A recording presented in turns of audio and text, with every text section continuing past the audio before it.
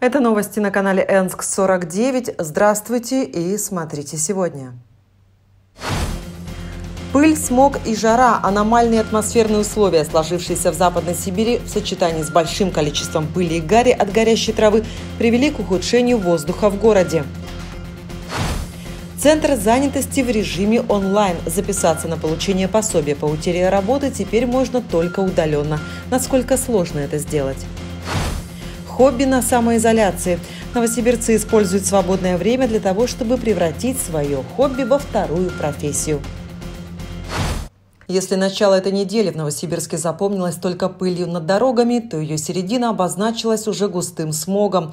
И причина того не только в лесных и ландшафтных пожарах, распространившихся по территории Сибири, но и в метеорологических условиях. Как погода повлияла на ухудшение качества воздуха, мы выяснили в Западносибирском метеоагентстве. Западносибирское управление по гидрометеорологии и мониторингу окружающей среды опубликовало ряд штормовых предупреждений. К примеру, в Кузбассе до пятницы сохранится высокая пожароопасность. В Томской области продолжится подъем уровня воды в некоторых реках, возможно достижение опасной отметки. А вот в Новосибирске в период с 21 числа до 15 часов 23 апреля будут сохраняться метеорологические условия, неблагоприятные для рассеивания вредных примесей в атмосферном воздухе первой степени опасности. И то, что синоптики не обманулись, в городе было хорошо заметно. А все потому, что над Сибирью установился мощный антициклон, говорят специалисты.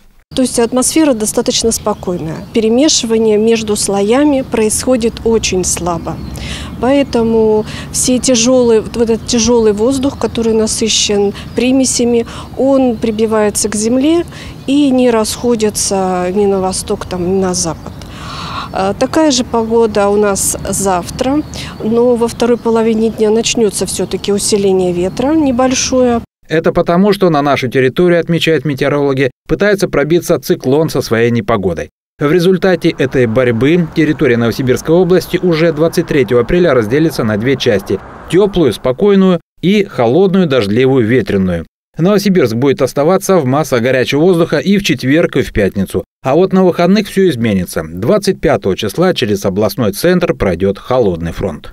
То есть массы полностью поменяются сухая и жаркая масса уйдет на восток, оттеснится, а с запада придет, а, пройдут вот с фронтом пройдут дожди грозовые, но потом придет масса более с умеренной температурой. Сначала 10-15, но потом все равно будет постепенно повышаться до 15-20 градусов. Вся эта ситуация хорошо показывает, насколько Новосибирск уязвим в экологическом плане и зависит от погоды. Затих ветер, перестали перемешиваться воздушные массы, дышать нечем людям стало.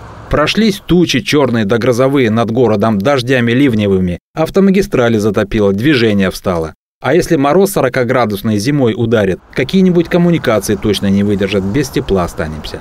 Вот так и живем, с осторожностью прислушиваясь к прогнозам синоптиков. А ведь чтобы изменить ситуацию, наверное, вполне достаточно вовремя чистить и мыть дороги, вывозить грязный снег, чтобы после него весной слоя грязи на газонах не оставалось, систему ЖКХ не поддерживать, а развивать, и ливнеприемники на проезжих частях не закатывать в асфальт. Глядишь, и добьемся этой независимости от погоды. Изменения в бюджете области, меры поддержки населения и предприятий в условиях пандемии коронавируса обсудили депутаты регионального парламента.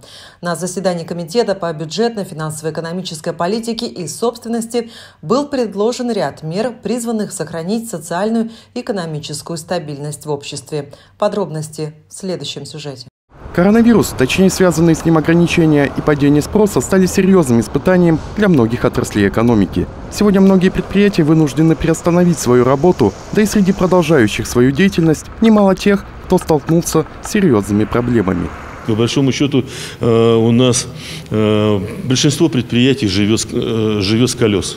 То есть того, что зарабатывает сейчас, вкладывают в какие-то там проекты внутри предприятий и живет, естественно, за счет реализации своей продукции, своего труда вот в этот текущий момент. И если, конечно, вот эта потребительская возможность будет сокращаться, это очень, это очень тяжело. В ряде отраслей уже идут сокращения персонала. Немало людей лишилось источника доходов.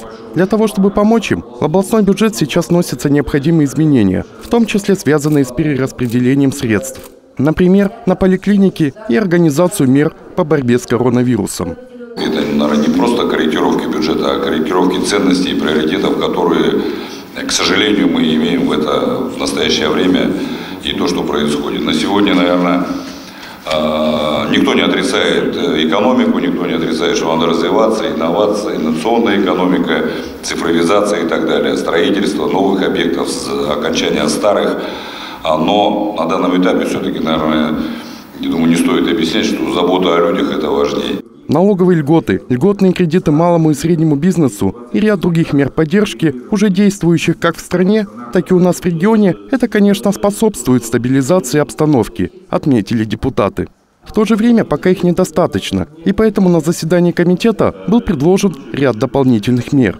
Эти предложения вскоре должны направить федеральные органы власти. Депутаты сегодня предлагали э, обратиться к международному опыту, где э, государство э, компенсирует часть, часть зарплатных обязательств предприятий конкретно. То есть, в принципе, на мой взгляд, вот этот момент надо его рассматривать. Люди старшего поколения хорошо помнят 90-е годы, когда и экономика, и социальная сфера находились в глубочайшем кризисе. По словам Александра Морозова, одна из важнейших задач сегодня, невзирая на все трудности, не допустить повторения тех времен, помочь и людям, и предприятиям. Поправки в бюджет региона и предлагаемые дополнительные антикризисные меры депутаты рассмотрят на очередной сессии законодательного собрания, намеченной на 30 апреля. С 26 марта этого года все госучреждения занятости населения Новосибирской области перешли на дистанционные формы работы. Время в новых условиях общения с работодателями и соискателями работы прошло не так и много, но первые выводы уже можно сделать. Да и социальная ситуация становится более понятной. Об этом в репортаже нашего корреспондента. Из открытых источников стало известно, что 171 организация Новосибирской области может высвободить порядка 3000 работников. В первом квартале 2020 года уже были уволены порядка 800 человек. Во втором квартале без работы, вероятно, останутся еще около 1300 сибиряков. В связи с этим ожидаемо актуальными становятся услуги центров занятости населения. Но эта служба в нашем регионе целиком перешла на дистанционные формы общения. Работаем мы только с теми гражданами, у которых отсутствует техническая возможность самостоятельно подать документы. Это либо нет компьютера, либо нет интернет возможности подачи, использования интернет-связи. Эти граждане могут прийти к нам, мы с ними помогаем им зарегистрироваться, подаем заявление и в дальнейшем уже взаимодействуем дистанционно. Вот только чтобы попасть на прием, необходимо предварительно записаться по телефону. Всем остальным желающим зарегистрироваться в статусе безработного и получать повышенное пособие в размере более 14,5 тысяч рублей, либо найти новое место работы, с сотрудниками центров занятости придется общаться дистанционно. С 18 марта, когда у нас в Новосибирской области был установлен режим повышенной готовности а, в связи с распространением новой коронавирусной инфекции по 20 апреля в Центр занятости населения обратились 10 тысяч граждан в целях поиска подходящей работы. Из них половина были признаны безработными. На данный момент треть из них нашли работу. Трудно ли в условиях эпидемии, когда многие предприятия временно не работают, а другие вовсе ликвидируются, найти себе работу? Можно с уверенностью говорить, что да, конечно же, стало сложнее. Однако в профильном региональном министерстве заявляют, что количество вакансий особо не уменьшилось. Работодатели сейчас э, не так активно заявляют новые вакансии. Э, есть работодатели, которые э, закрыли свое предложение, но вместе с тем есть те работодатели, которые сохраняют вакансии, говорят о том, что прием они будут осуществлять после завершения ограничительных мероприятий. Говорить о существенном обвале не приходится. То есть вакансий на сегодняшний день 31 тысяча Подать заявление в службу занятости региона можно разными способами. Во-первых, через сайт «Работа в России». Это если у вас есть подтвержденный аккаунт на портале госуслуг. Во-вторых, по телефону горячей линии, которые вы видите на своем экране. И по номерам районных центров занятости населения их можно найти, к примеру, в системе 2GIS. И напомним, что в настоящее время действует временный порядок, согласно которому не надо предоставлять копии трудовой книжки, приказа об увольнении и справки о среднемесячном заработке. Всю информацию служба занятости получит сама по своим каналам. Сейчас многие становятся фермерами, но не у всех это получается. Разумеется, что люди, которые взялись заниматься животноводством, должны нести ответственность за своих подопечных. О непростой ситуации, в которой оказались брошены животные неудавшегося фермера, мы расскажем в следующем сюжете. Колыванский район, село Новотроицкое, далеко от магистральных дорог. Жизнь здесь идет своим чередом, и сельчане занимаются домашними делами и совсем не ведают о том, что на окраине села в опустевшем телятнике остались брошенными и обреченными на голодную смерть четыре свиньи. Причина простая. Бывший арендатор помещения обанкротился и уехал, не приняв никакого решения о дальнейшей судьбе этих бедолаг. Местные жители их понемногу подкармливают. Понемножку чем мы могем, но чем мы можем? Мы то свое же не можем тоже это, как продукты свои отдавать. У нас как ну, вот водичка попоем и все, а больше чем.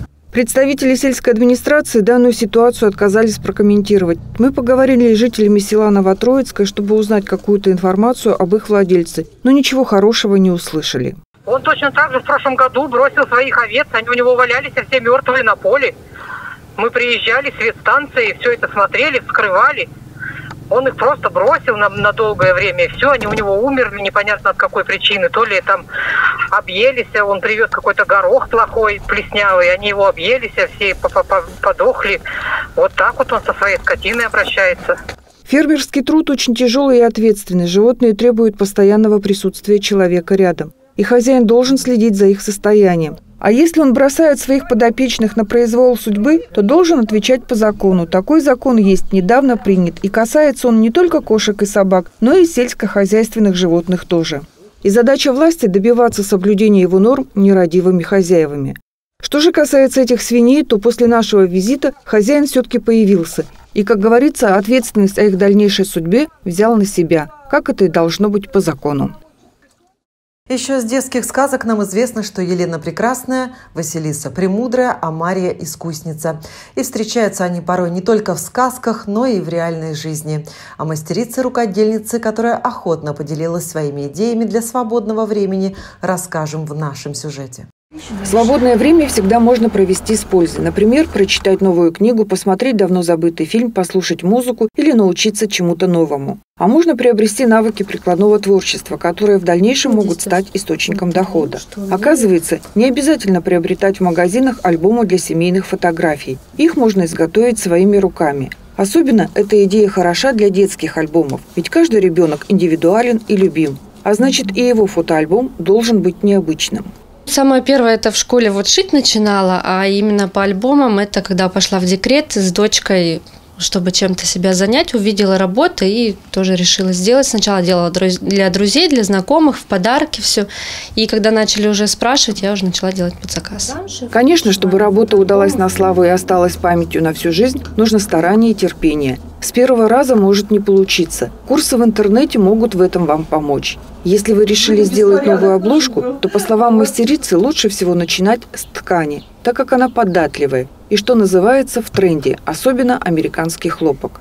После того, как наработается навык, можно переходить на кожу. Есть специальные магазины все для рукоделия, то есть кто начинает, они большими объемами не закупаются, то есть там э, можно полностью выбрать такой формат, который вам нужен, вот эти, получается, заготовочки, клей, кожзам, ткани, там все есть, сразу нарезано, то есть вы берете конкретно под одну работу. Особенность изготовления детского альбома заключается в том, что там можно расположить специальные поля для заметок, комментариев, нарисовать детскую ножку и даже записать небольшой диалог с ребенком. Такие альбомы сейчас очень популярны и востребованы на рынке. Так что недостатка в заказах мастерица не испытывает. Вот так и становится случайное увлечение второй профессии, которое лишней не будет, особенно сейчас. Это все на сегодняшний день. Мы следим за развитием событий. Наши новости всегда на сайте ensk49.ru. Ваши мы ждем в рабочее время по номеру 220 2105. Спасибо, что были с нами. Всего вам доброго и до новых встреч.